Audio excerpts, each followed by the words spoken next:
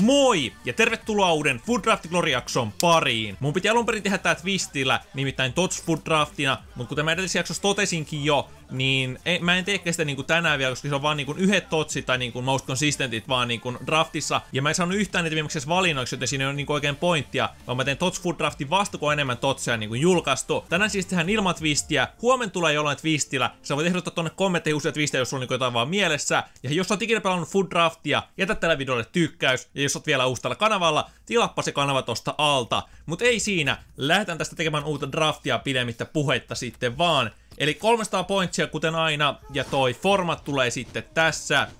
Öö, pari 4 2 variaatio, 5 3 2, 4 2 3 1 white tai 3 4 1 2, okei. Pitäisikö koittaa viidepakin formaa? En mä tiedä. Ei ehkä kuitenkaan. Mennään 4 2 3 1 Tsekataan mitä, mitä saadaan niinku tähän aikaiseksi. Tästä tulee kaput Quad, Quadrado, Ösil, Dybala, Aguero tai Lacazette. 91 Ösil on silleen kyllä sillä on aika nice statsit, mä en vaan tiedä, luotanko mä Ösiliin oikein tarpeeksi niin tänä vuonna itse pelissä. Toi 200 weak footti vaan on niinku iso, iso, iso heikkous. Mutta toi... Toi toi, mennään sillä silti, vai mennäänkö? Valtaanko mä Akueron? Otetaan Ösil. En, en mä tiedä, päätyykö se avaukseen. Saa nyt nähdä, saako mä järkeviä linkkejä sinne. Mutta kuitenkin, tästä tulee Strikeria. Paulo Dybalan 91 kortti. Tällä mä oon halunnut pelata. Tätä jengi hehkuttaa tyyli vaikka Ian Formella ihan järkyttävästi. Mä oon kuullut, että taisi niinku yksi pelin parhaista pelaajista, joten ehdottomasti otan tämän. Siis tsekatkaa nämä statsit, 93 pace ja shooting, 96 dribbling, 90 passing ja 82 physical. Eli tää on vähän niinku Messi, jolla on vieläpä niinku hyvä fysikalki, ai että. Paulo Dybala ehdottomasti. Ja nyt mun täytyy keksiä täällä linkkejä, täytyy linkata Dybala, ei oo vaihtoehtoa. Tähän Quadrado, ei tuu. Tulee Calcio Aata, Hoa Mario. Pitäisikö ottaa se? Se olisi ainakin varma linkki Dipalaan. Se olisi ainakin varma linkki Dipalaan. Mä haluan riskeerata tota, että kun mä sais Dipalaa Seiskakemille, joten mennään Hoa Mariolla, vaikka se välttämättä niin kuin RM mikään älytön olekaan. Ja sit vasempaan laittaa me saadaan Nani, Pepe, Entep, Sov tai Krondeli. Öö, musta tuntuu, että Ösille välttämättä päädykään avaukseen. Tai sit päätyy, en tiedä, jos mä, jos mä saatan järkeviä linkkejä. Mutta tästä kuitenkin mennään tällä synttärin Nanilla. Se on kova. Kova äijä, nopea, hyvä dripla, virtaiset skillit, niinku kaiken näköistä Kaiken näköistä hyvää kamaa löytyy. Ja sitten toi eka CDM. Täällä on Lalikaa, Garcia tai sitten San Jose. Eipä tässä oikein muuta oo. San Jose on parempi pelaaja kuin Garcia varmaan, mutta Garcialla on Shadow. Itse mä en tiedä, onko San Jose niin paljon parempi. Niin kuin overalliltaan joo plus 6, mutta Garcia vie plus 10 paceissa. Häviää defendingissa kahdeksalla, mutta vie physicalin neljällä. Tää on 6 foot 1 medium medium vastaan 6 foot ja medium high. Mä otan ennen mitään karsiaan, okei. Okay. Täällä on kuitenkin toi Shadow, mikä on kaikkein iso juttu. Että vaikka se päätyisikö avaukseen, siitä on joka tapauksessa käyttöä. Ja sitten oikea mä tähän jotain Kaltso Aata. Ei tuu yhtään. Tulee Pereira, Krychovia, Casemiro, Schneiderlin tai Kokelin. Ja toi Pereira linkkais Hoa Mario, mutta mä en usko, että mä tuun käyttämään sitä linkkiä. Jos tais Tots Pereira ehkä sit, mutta en, en kyllä Normi Pereiraa ota. Tässä olisi vihreä linkki Ösili, mutta Ösil saa, Ösil saa nyt 7, jos mä otan kokeilin tästä. Että yksi vihreä linkki ja neljä punasta on silti 7 mielenkiintoista. Otetaan kokeilin tosta.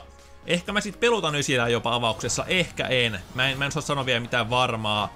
Tänne tulee sitten Debucci, jos olisi superlinkki ainakin kokeili, niin nyt sit taas Hoamarion kemi kusee.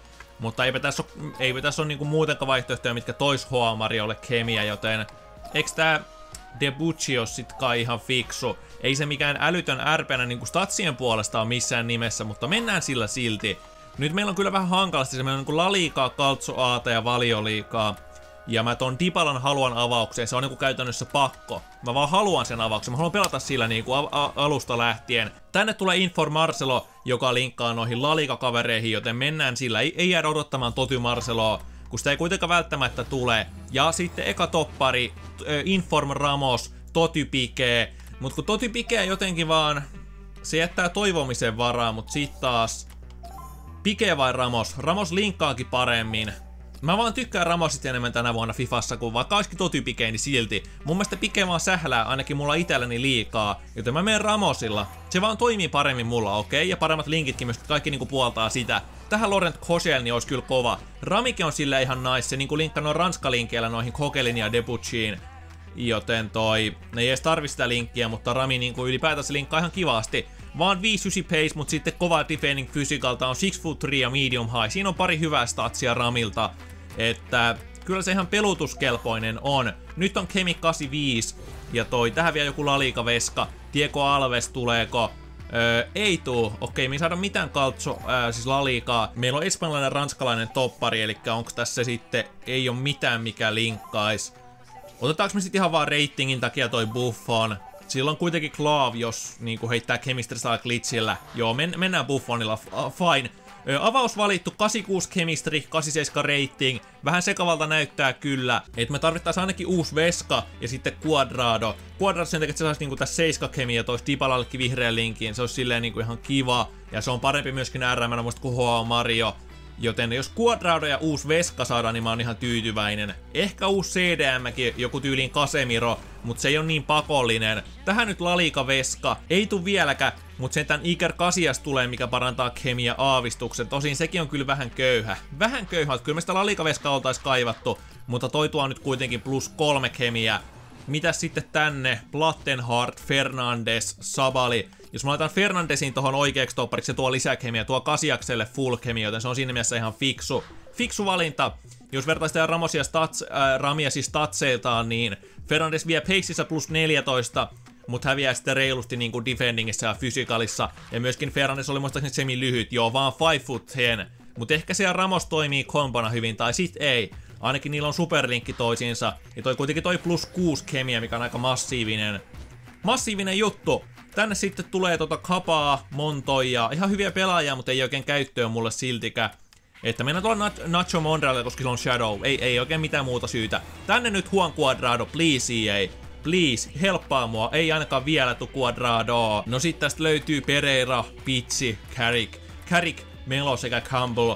Ehkä toi Melo, siinä on tota Calcio A-linkkiä, jos satuttais tarjoamaan. Mä en tiedä vielä tarvitaanko, mutta ei sitä tiedä. Joten mennään Felipe Melolla. Itse asiassa Joo. Joo, joo, joo, ei, ei, ei, ei vielä mitään, mutta se on tulevaisuuden suunnitelma. Mutta kuitenkin tänne sitten Castro, Fofana, Cherutti, Rico tai Barry. Ei ole taaskaan mitään hyödyllistä, että Chemistry Stylella vaan tosta Shadow, Shadow Cheruttilta. Tähän tulee joku kova pelaaja, Roppen, Messi, Tiimari ja Sanchez sekä Bale. Hyviä pelaajia yhtä kaikki. Itse asiassa Messi menee muuten vaan, y- no Messi saa vaan kolme kemi, jos mä laitan sen RMXi. Mutta on 3 Messi silti parempi kuin 4 Hoa Mario mun mielestä. Ja ihan näillä muilla kaiken käyttöä on. Alexis Sanchez vasempaan laitaan. Ee, sais saman kemi. Joo, ei, ei se nosta kemiä. Ee, otetaan siis toi Messi. Nyt vissiin kemi tippuu yhdellä vai? Joo, joo, kolme Messi. Mutta se on varmaan sielläkin kemistrillä silti niinku oikeasti laatua. Ja tähän tulee taas jotain hyviä pelaajia. Ronaldo Record Breakeria. Se menee muuten vasempaan laitaa, linkkaa Marcelo ja näin edespäin. Ei saa parempaa kemiä vielä kuin toi Nani. Itse asiassa tiputtaa kemiä yhdellä ainakin vielä toistaiseksi. Mitäs muuta? Tässä olisi Turania. Turan sitten taas tiputtaa ton Ösilin kemiä, mikä on hankala. Kandreva ei nostaisi kemiä. Joten mennään Ronaldolla, otetaan se avaukseen tonne LMX. Se tiputtaa vielä yhdellä, mutta jos me, jos me saadaan Casemiro tähän, se olisi niinku erittäin tärkeä. Boostaisi sitten, niinku, silloin sitellä parempi, ei kun jos se boostaisi vaan Rollenkemia, mutta kuitenkin. Joku Team of the Knockout Stage Casemiro kun tulisi. Ja joo, ihan ok tämä draft näyttää kuitenkin tällaisenäänkin. Tänne sitten ei tule mitään hyviä. Mennään tolla, tolla ja se nyt on tossa ekana valintana. Ja uutta matoa vaan koukkuun, sieltähän tulee Roppeen, Karvahal, Enzonsi, Cavani sekä Lukas Piszczek. Auttaako nyt sitten Enzonsi jossain paikalla? Ei taida auttaa, mutta toi... Toi toi, se menee... Se menee vasemmaksi CDMX kai samalla kemialla kuin toi aiempikin CDM. Karvahal ei auta, koska mä haluan ton Ösilin pitää melkein tuossa käminä, niin se tarvitsee tuota Kokeilin Debucci-linkkiä ja Cavania Pistek. Ei mitään käyttöä, joten mennään Enzonsilla. On se kuitenkin parempi, ei kun se tiputtaa kolmella. Kenen? Ei kun niin toi sai full chemi, joo, no okei. No Enzonsilla on kuitenkin Hunter joka tapauksessa, on siitä niinku hyötyä, mutta ehkä tein tossa väärin, olisi pitänyt ottaa Roppen. Sori, mun moka. Mutta toi, tänne tulee El Sharavia.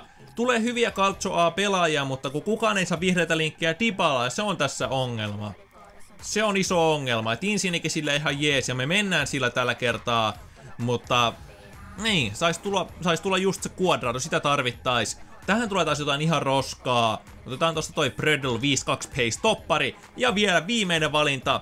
Tähän nyt joku, joku hyvä oikeesti EA. Come on, kyllä te pystytte jotain parempaa. E84 Mane. Otetaanko me Shadow ennen mitä? Meillä on Shadow penkillä 1, 2, 3 kappaletta valmiiksi. Ja avauksessa yhdelläkään puolustalla ei ole Shadowia. Joten me, me voidaan kyllä, me ei tarvita Shadowia enää ylimääräisiä, että me voidaan ottaa ihan hyvin tosta toi Mane. Mane ratingin takia päästiin 93 kemi 87 ratingiin. Ei mikään paras, mutta on täällä hyviä pelaajia kuitenkin, ja kaikki muut paitsi Messi on ihan hyvällä kemillä. Et 7 kem kautta 6 kemkin rollalle, se on vielä pelutettava, mutta toi Messin kemi, se on kyllä erittäin heikko.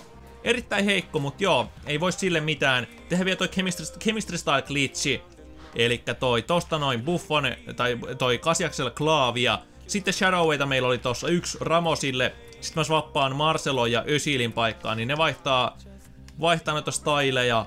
Sitten yksi Fernandesille ja yksi tonne Depuccille vielä. Öö, joo, ei tätä ole käytetty. Eihän, ei ole kaiket, eli näin ikään. Ja sitten, sitten, sitten...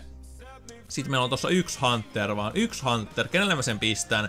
Pistetään Paulo Dipalalle. Joo, ehkä se saa siitä kaikkein eniten irti kuitenkin loppujen lopuksi. Ja eihän tässä enää muuta ollut kaiketi. Ei, että manakeri vaan seuraavaksi sitten tännehän tulee pu- ei, tota, Itävallan Bundesliigaa, Valioliigaa, Bundesliga 2, Espanjan kakkostaso tai tota, tota, tota, Belgian liigaa. No mikä sitä sauttaa eniten? Tää ei boostaa kenenkään, joka ei olisi full chemillä jo. Ei boostaa tämäkään kaiketi, ei. Entä tää, Bundes... tää boostaa ysille, joten se auttaa ainakin yhdellä. Tää auttaa Ronaldon. Ehkä se boostaa... Ehkä tää boostaa Kokeliniankin tyyliin, tai Depuchin. Mä en tiedä, oliko ne kympillä jo, mutta jos, se, jos ne oli ysillä, niin se boostaa sitten kymppiin ne. Ja tää ei boostaa ketään, että otetaan tää Jose Murinju tästä. On, on, on kyllä fiksuin, fiksuin veto, että joko boostaa yhdellä tai sitten kahdella, kolmella, en, en mä tiedä, maksimissaan kolmella siis joka tapauksessa. Mutta eipä toi toinen, toi kakkos Bundesliga manager olisi boostannut kuin vaan yhdellä. Eli sitä Ösilin kemiä. Mutta toi Ramos vielä tänne. Itse asiassa vaihdetaan Ramos ehkä ennemmin tänne puolelle sen takia, että toi Debucci on huonompi RP kuin Marcelo. Niin siitä on tällä niinku tasaisemmin tietysti, että toisella puolella on niinku, vasemmalla puolella on niinku parempi, äh, parempi laitapakki ja huonompi toppari, toisella puolella parempi toppari ja huonompi laitapakki. Ja toi, sit vielä Kasias, Kasias VS2 tietenkin, Debucci RPksi ja toi Dybala kärkeen, niin on tiimi valmis. Tästä Dybalasta mä oon kyllä haipeis. Mä haluan päästä testaamaan sitä, että tää näyttää vaan niin huikealta kortilta, ja siinä vieressä vieläpä Ronaldo ja Messi, niin kyllä kelpaa pelata, vaikka kemia ei mikään niinku full, tai ihan full kemi olekaan lähes kaikilla pelaajilla. Ja toi heitetään vielä Insin vaihtopenkille, ja onko tossa sitten jotain muita vielä? Otetaan Maneki Messi ja Enzonsikin oikeastaan, eli tosta Nacho Monreal vielä pois. Nacho Monreal pois ja Enzon ja Melo myöskin pois Enzonsin tieltä. Toi Enzonsin Shadow nyt jäi käyttämättä näköjään. Sen olisi voinut heittää...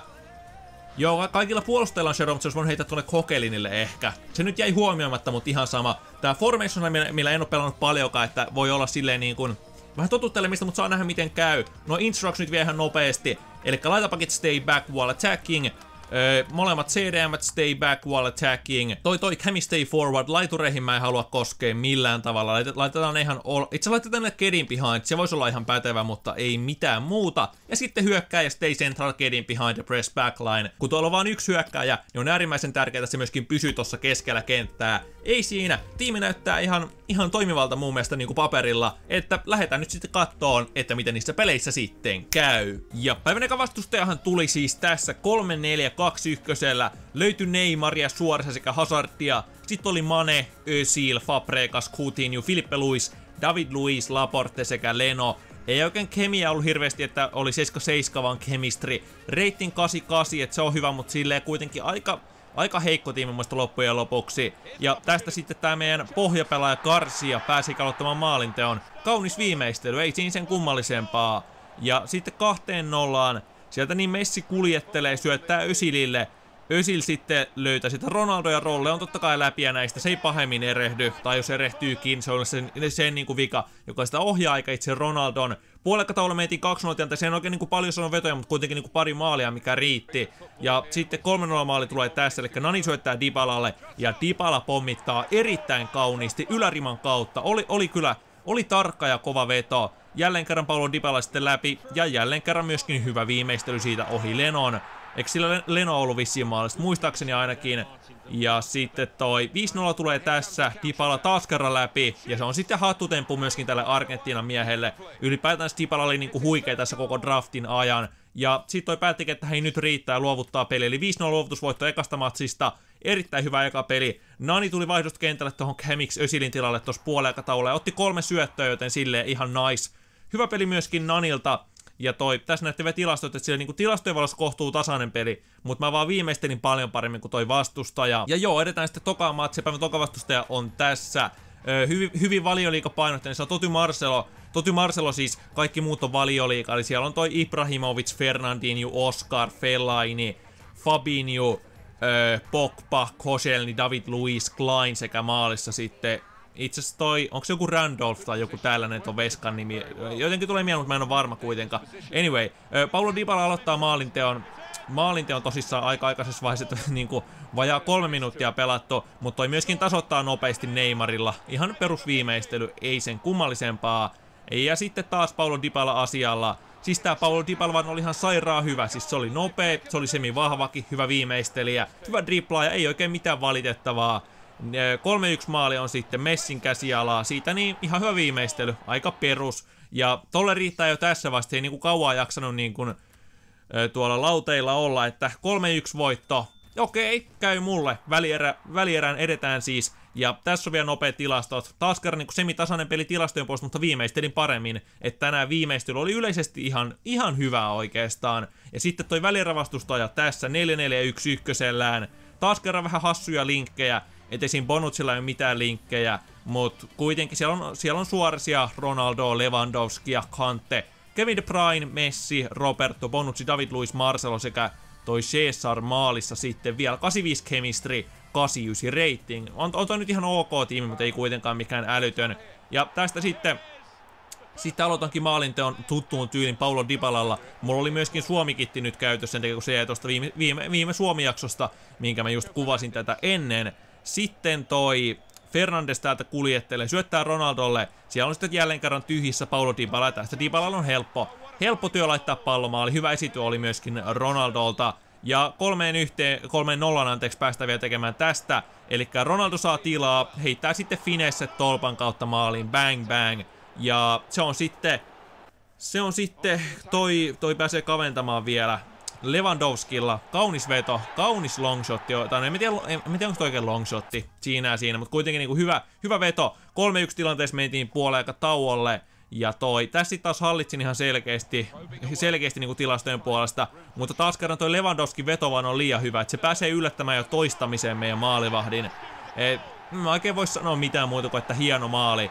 Hieno maali, mutta sitten on taas kerran mun show mun show käynnissä, eli sieltä Paulo Dybala jälleen kerran tuttuun tyylisellä kolmantero weak footillakin onnistuu Finesset. Finesset ihan mallikkaasti, 4-2 maali tästä Messi kuljettaa, harhauttaa pari äijää, ja sit syöttää siihen vielä Dybalalle, ja Dybala jälleen kerran ties kuin mones maali tässä draftissa. Ja siihen tulokseen myöskin peli päättyy. Oliko se nyt 4 vai 5-2? Eikö se 5-2 ollut? Ja en, en tiedä vielä, mutta Dybala teki neljä maalia joka tapauksessa huikee äijä. Toki mä vähän väkisinkin hain, tai en mä, en mä hakenut väkisin sille maaleja, mutta sille niin syötiin tyhjiin useasti, joten niin kuin kaikki ei ollut niin hienoja maailmaa, mutta maaleja kuitenkin. Ja joo, 5-2 tosiaan tulos. Ja edetään Food Draft-finaaliin, se on aivan loistava juttu se. Ja finaalivastustaja saapuukin sitten tässä 4-3-1 kakkosella Full Liiga peräti neljä totipelaajaa, Ronaldo, Iniesta, Kroos sekä Modric. Sitten on toi Raul Garcia, Benzema, Mariano, Pique, Savic, öö, RP-nimi, onko se toi Majo vai onko se joku muu, en, en mä varma, ja Veskaa en ehtinyt nähdä. Kuitenkin toi aloittaa maalinteon tässä oli sellainen tilanne, missä, missä niinku, olisi ollut vaan hyötyä siitä, että mulla olisi ollut vaan tyhjä maali. Nimittäin toi veti Toni Kroosilla tolpaan ja siitä sitten Buffonin selän kautta pallo maaliin. Mähän siis otin tässä pelissä Buffonin heti kentällä, kun viime pelissä Kasias oli niin heikko. Ja tässä pelissä Buffon ei ollutkaan ihan niin hyvä. Että toi Benzema pisti nyt, nyt sitten kahteen ollaan pujuista. Pääsen kaventamaan kuitenkin Messillä tilanteen kahteen yhteen. Ja siinä tilanteessa mentiin myöskin puolikatolla. Kuten näette, tilastot on erittäin tasan että vedot on, tuolla on yksi enemmän vetoja, maalia kohti yhtä paljon, ja tuolla oli myöskin vähän pallohallintaa. Sitten toi pääsee tekemään jo kolmeen yhteen, Karim Benzema. Benzema puskee, voittaa pääpallo siellä jonkun, jonkun meidän äijistä, mutta peli ei ole vielä ohi. Nimittäin myöskin tää tulee mulla vähän tuurilla, eli Nani sieltä kuljettelee hyvin, mutta sitten on oma puolustaja taklaa vahingossa pallon maaliin. Eli tässä oli niinku, molemmilla oli vähän niinku huonoa tuuria silleen, äi, äi, toi äistas veti niinku tolpan kautta ja maalivahdin kautta maaliin, mutta sen jälkeen taas neljään kahteen, neljään kahteen viimeistellä, oliko, oliko se Ronaldo, en mä varma, mutta sitten meidän vaihtopelaaja Luis Nani Onko se Luis Nani edes? En mä siitäkään varma. Jotenkin vaan tuntuu luonnolliselta. On se kai Luis Nani. Anyway, siis kaventaa tilanteen ja 90 minsaa kellossa. Ja Paulo Dybala, meidän sankari, jälleen kerran tasoittaa pelin 4-4. Kerrankin me tehdään 90 minsa kohtalla maali, eikä päästetä. Huhhuh, mennään jatkoajalle. Ja kuten näette tilastoista, me itse otetaan pelin tokalla puolella haltuun, että sillä niin täysin ansaitusti ansaitu tasotus. Sitten mä otin jatkoajalla Steven N. Jonesin kentällä mun viimeisenä vaihtona. Ja N. Jones sitten tekee tulosta käskettyään. En mä sitä niinku maaleja tekemään ottanut vaan tohon pohjalle, mutta hei, jos äijä tekee maalin, niin äijä tekee maalin. Ja sitten vielä Messi viimeistelee loppulukemat kuuteen neljään. Eli sieltä löytyy tilaa paljon. Low driven shotti siitä niin oikeeseen alakulmaan. Ja siihen päättyykin sitten peli. 6-4. Kannatti yrittää loppuun asti, että 90 misa tasotus ja jatkoajalla voitto. Eli voitetaan koko food drafti. Näytti pahalta tässä finaalissa, mutta käänsin kuitenkin pelin onneksi. Niin kuin oikeasti kerrankin mä pystyin kääntämään pelin niin kuin tälleen päin, enkä sitten niin kuin sortunut lopussa. Tässä näette vielä tilastot, ne meni jo, mutta kuitenkin niin kuin hallitsin peliä. Ja joo, 5-0, 3-1, 5-2 sekä 6-4. Paljon maaleja nähtiin tänään. Erittäin tyytyväinen on gameplayhin. Lähetään avaan ne palkintopaketit sitten vielä. Eli jos sellainen food draft sitten tällä kertaa pelit meni äärimmäisen hyvin, on tyytyväinen koko jengin suorituksiin. Öö, kyllä mä tiedän, tässä oli niinku taas Ronaldo ja Messi, että siinä mielessä tylsä drafti, mutta kuitenkin vähän erilaisia pelaajia, kuten tyylin Ösilillä tai Dipalalla en ole juurikaan pelannut, enkä yhtään tällä versiolla Dipalasta, muistaakseni ainakaan. Myöskään tällä Karsialla en ole pelannut kai ikinä, en ainakaan muista, että olisin Kokelinallakin varsin harvoin, ja toi Fernandesillakaan ei, ei ole tullut oikein pelattua. Ei siinä, tyytyväinen on. Vai, vaihdostotin Nania usein kentällä, sekin hoiti hommassa hyvin. Muun muassa kavensi tärke- tai niin kun, teki tärkeä maali finaalissa kaventaan tilanteen neljään kolmeen. Mutta klemmataan meidän palkinnot vielä, ja jos tänään päkättäis Tots, olisi kyllä ihan mahtavaa. Ois kyllä, ois kyllä siistiä, että en ole vielä yhtään Totsia päkännyt niin näistä food, food draft-päkeistä. Yhteensä mä oon päkännyt toi, toi, toi, toi, toi seitsemän totsia. Me saadaan kaksi Rare Code sekä Premium Code Pack. Ei mikään paras palkinto, mutta ei se nyt huonoinkaan ole. Täällä on myöskin muita päkkejä, kun mä tein ton Markhi Matchupsin just, mutta niitä mä en avaa tänään, tai siis niin kuin, joo, en avaa tänään, ja siis en ylipäätänsä tässä videossa. Mutta lähdetään tuosta Premium Code Packista kuitenkin liikkeelle, se on se pieni pack, mikä, mitä me saatiin tänään, ja sieltä tulee rare pelaaja, mutta pieni Flare Striker, se on toi Tempa Ba, okei. Okay. Sinänsä mielenkiintoinen, että tähän lisättiin vasta nyt vähän aikaa sitten peliin. Lisättiin muun muassa tota Niklas Bentner, mistä mä tein videoakin, mutta myöskin Baa lisättiin. Joo, siinä mielessä ihan mielenkiintoinen. Ei pitänyt laittaa transferista, mä tsekkaan kuitenkin, onko se jotain arvoa. Tulee myöskin Kamerunin kaveri Eto, Etoundi. Siinä saa aika paljon yhtäläisyyksiä Etonkaan, niin kuin toi alkunimi, plus se, että se on Kamerunista, tai kamerunilainen. Ja onko kamerunilainen, kuuluuko se sanoa näin, en mä tiedä. Ja Turkin liikassa niinku etokin, että silleen, tää koittaa olla niinku pikku eto, mutta tällä ei vaan hintaa oo, ei sit yhtään. Joo, ei siinä. Mä heitän nää, nää klubia discardaan ton ton feikki eton niin sanotusti. Ja tsekataan ihan nopea tosiaan se baan hinta. En mä usko, että sillä paljonkaan hintaa on ennen kaikkea nyt kun on totsitkin tullut, niin varmaan jengi päkkäistä usein, mutta kuitenkin niin kuin vasta lisätty kortti kuitenkin FIFAan, niin eihän sitä tiedä. Eihän sitä tiedä, eli baa, joo, ei, ei ole mitään hintaa. No se saa pysyä siellä, se saa pysyä nyt siellä toistaiseksi ainakin, mutta sitten on vielä kaksi Recode Packia jäljellä, eli tästä lähtee ensimmäinen. Siinä on paketin kannessa on sinistä, mutta onko itse paketissa sinistä? Toivotaan ainakin. Let's go, ei ole walkoutti, please. Ei ole totsi, okei, se on CM Kante. Oi, me päkättiin kuitenkin Kante 83 reitte. Tää on oikeasti silleen ihan jees. Kyllähän mä nää coinsit tota vastaan joka päivä. Se olisi ollut ensi, tai niinku tämän viikon perjantaina sininen, mutta kuitenkin, siis mä oon aina Kantes tyytyväinen edelleen. Varmaan se hinta on jo tippunut, mutta kuitenkin. Kyllä mulle Kante, Kante kelpaa, joo, se ei, se ei hirveästi myy enää, että joku kymppitonni, mutta fine. On niitä huonompiakin päkkejä tullut avattua. Täältä tulee myöskin Chidane, Mertesakkeria, Vaskesia, Rousia ja näin edespäin. Mä laitan noin klubiin, saakohan Chidanesta enää edes mitään pikkuhiloja, vai kannattaa, kannattaako se vaan discardata puhtaasti? Öö, kyllä, se, kyllä se kannattaa ehkä myydä. Ei siitä kuitenkaan mitään vaivaa. Mä heitä 500 start priceilla myyntiin.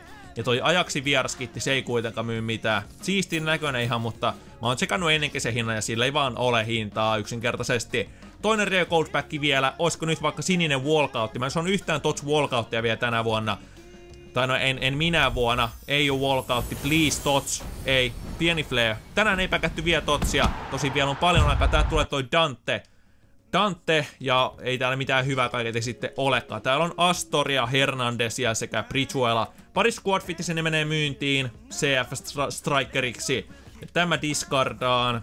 Samoin tää Lopesi, joo, ni niille ei ole mitään arvoa. Ja loput sitten lähteekin klubia myöhemmin sitä kautta myyntiin. Mut hei, Voitettiin Food Drafti, päkättiin palkinnosta kuitenkin Kante, mikä on niinku ihan decent nosto. Ei mitään älytöntä, mutta kelpaa kuitenkin niinku sinänsä. Ja toi tähän päättyy tää video. Jos sä pidit tästä videosta, niin hittaa ihmeessä tykkäysnappia ja tilaa mun kanava tosta logosta tossa. Tässä on kaikkien Food Draft soittolista ja tässä on joku muu video. Sä voit klikata tätä molempia tsekata, jos sua yhtään kiinnostaa. Seuraa mua myöskin Instagramissa ja Twitterissä. Linkit videon kuvauksessa tuolta alhaalta. Mutta ei videoon, se on moro!